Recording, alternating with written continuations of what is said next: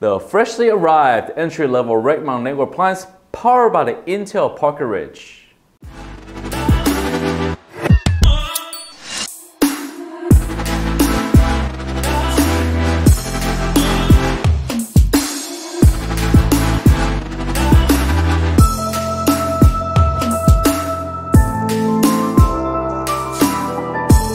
Hello everyone, welcome to Product Insight. I'm Mike.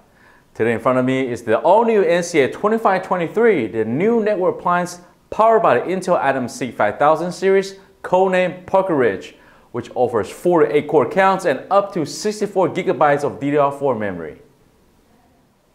With the low power consumption, the NCA 2523 is designed as a security gateway or UTM to be deployed in a small or mid-sized environments to conduct essential security applications such as the VPN, antivirus, intrusion prevention, and DNS filtering.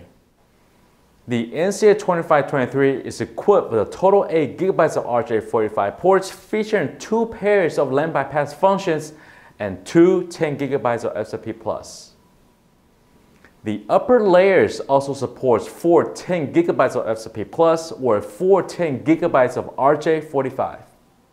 For network acceleration, the NCA 2523 features an integrated Intel DPDK and QuickAssist technology for accelerating packet processing and data encryption workloads.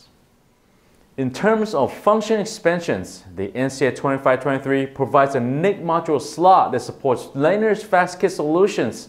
You can choose a wide variety of Lanner's purpose-built expansion modules, such as the Ethernet module and PoE Plus modules.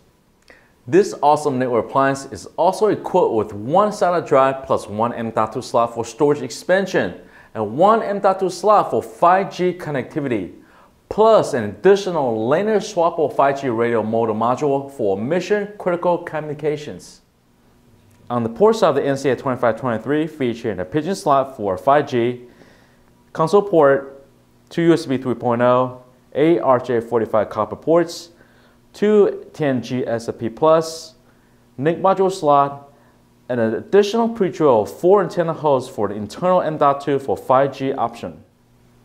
On the rear side of the NCA 2523 featuring three smart fans, single power in its option, and with an optional redundant power supply. So thank you everyone for watching this episode of Product Insight. So if you have any more questions regarding our entry-level rack mount network appliance, please contact us and we'll get back to you. See you next time.